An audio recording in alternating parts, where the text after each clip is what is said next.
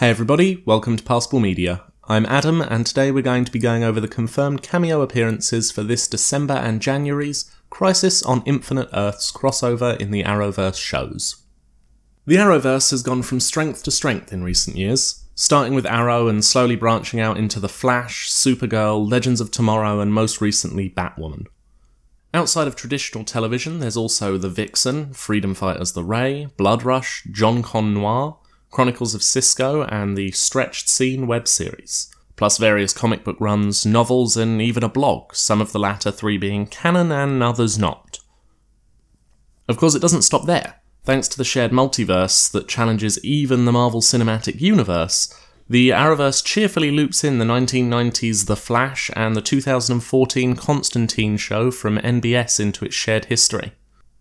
This is excluding Black Lightning, which for the first two seasons the CW Brass have insisted again and again that this does not take place in the Arrowverse, although that certainly seems to be about to change. There's also the Arrowverse series set in the future, which may or may not be called Green Arrow and the Canaries, but that's a wee bit campy, and honestly, I'd prefer Arrow 2040 or just The Canaries or something like that that isn't that. But we've also heard rumours that Stargirl, a previously DC Universe production, might be making its way to the CW instead, which would give us yet another possible Arrowverse show, though like Black Lightning, and given that it's already been shot and just needs trimming to suit the CW's runtimes, we likely won't be getting any kind of crossover in Season 1, and of course this may be total gumph anyway. And finally, we have Superman and Lois, which may or may not be picked up at this stage, but it's super poorly named. I like the idea of a late stage Superman show, though I do worry about the inevitable similarities and villain sharing with Supergirl. Anyway, in the comics, Crisis on Infinite Earths was an attempt to simplify years of sprawling multiverses for each and every possibility where a new writer would come in and decide that the story they wanted to tell doesn't match up with the established history, so this is on a new Earth. Albeit temporarily, this crisis wiped out hundreds of heroes, including Supergirl and Barry Allen's Flash, and essentially rebooted all of DC Comics continuity. And unlike Superman's various deaths, Barry Allen actually stayed dead for quite a few years, with Wally West becoming an entire generation's one and only The Flash. In theory, something similar will be done with the Arrowverse's interpretation, and with Crisis now being three weeks away, it seems that what we've been fed so far about Oliver Queen's Green Arrow sacrificing himself in place of Kara's Supergirl and Barry's Flash may actually happen. But more than anything, we expect the number of worlds to be heavily reduced and histories changed. This is going to be tough for the writers, especially with the likes of Batwoman and Black Lightning, who are relatively young and not quite done with their own world building yet, only to have everything changed. And what on earth's going to happen to Supergirl? Are her characters going to be wordlessly shunted over to Earth 1? We've seen the changes that Flashpoint caused ripple through the Arrowverse and Legends, with events changing slightly and not so slightly, but I don't see how changing Diggle's daughter into a son can be handled with the same level of chill as wiping out several seasons of a show's canon. It's not that I think they can't do it, so much as I'm super interested to see how they do it and what happens in the aftermath.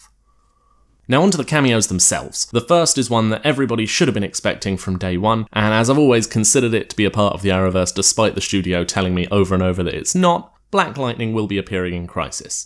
At the moment, it seems like it is just Cress Williams appearing and not the rest of the cast, but a confirmation's a confirmation, right? In addition to playing Ray Palmer's The Atom, Brandon Routh will be playing a take on the Kingdom Come version of Superman from the comics a direct run on to 2006's Superman Returns, and beyond all that, playing off of Ray's comment that Kara looks like his cousin years back. Not to be outdone, Tom Cavanagh will be doing triple duty, playing Harrison Wells, Eobard Thawne, and the new character for this season of The Flash, Pariah. Ryan Choi will be joining Team Flash this season, meaning that Osric Chow will be in the crossover as a series regular. And Audrey Marie Anderson, who has previously played Lyla Michaels on Arrow and other shows, will be playing Harbinger. And whether this is the long hinted at alter ego or an entirely new character is as of now unclear, although with the hints in Arrow so far this season it looks to be the same character. Jon Cryer and Jonathan Schaech will be returning to the Arrowverse personas of Lex Luthor and Jonah Hex respectively, and John Wesley Shipp will be back, we believe, as the Earth 90 Flash, but he could also be back as Henry Allen or as Earth 3's Jay Garrick, or any number of doppelgangers. Burt Ward, who played Dick Grayson's Robin in the classic Batman live action series and film alongside Adam West Batman, and also voiced a bunch of Dick Graysons in the animated form over the years, is in the mix, but interestingly, he's not playing Dick Grayson or Robin, whether active or retired. No, he's playing himself. Erica Durance will be reprising her role as Lois Lane from Smallville alongside Tom Welling and his iteration of Clark Kent. We have been told he is not playing Superman, but that doesn't necessarily mean he won't suit up during the crossover. And while rumoured, Michael Rosenbaum has confirmed that he will not be reprising his role as Lex Luthor due to a combination of personal issues and a lack of certainty regarding the script at the time the part was offered to him. Kevin Conroy, who has voiced Batman for almost 30 years, is finally getting his live action debut as Bruce Wayne during Crisis. Ashley Scott will be returning to the role of Helena Kyle, the daughter of Batman and Catwoman, and the Birds of Prey series version of Huntress. And Stephen Lobo fits an odd role in that he will either be replacing Emmett J. Scanlan as Jim Corrigan's Spectre from the Constantine NBC show, or be playing a new non Earth 1 version of the character. Getting near to the end now, we have Robert Wuhl playing somebody. Honestly, we don't know at this point, and a truly surprising appearance of Tom Ellis as Lucifer Morningstar, maybe from Lucifer, although that could just have been a mate turning up to set to say hi to his friends. This does need to be tempered slightly, as it's not 100% confirmed and has been poo pooed by Tom Ellis himself, but it certainly seems like it could be happening. The reason this is especially unexpected is because Lucifer, while owned by DC, is a Vertigo imprint, which would be tantamount to Rose McIver's Liv Moore from iZombie swinging by to go a few rounds. Which, honestly, I wouldn't be against. But that's definitely not happening because zombies in Chicago, you know, not happening. There are some pretty surprising cameos here, but the most shocking of all is that reportedly the Titans, as in the Titans from the DC Universe Titans TV show, will be making an appearance. Now, I can't really get into everything I want to say about this without running much longer than I'd like, but just bear in mind that DC have historically been really quite power hungry when it came to keeping their TV and film franchises apart from one another. And this is a show that's about as official as DC gets, and one that's still active in production, and it getting looped into the Arrowverse, that's a pretty big step for DC following the You Can't Call Him Joker debacle from Gotham last year and especially so when compared to the Marvel Studios attitude, who has Kevin Feige actively decanonising all of the Marvel TV and Netflix MCU shows as not really the MCU.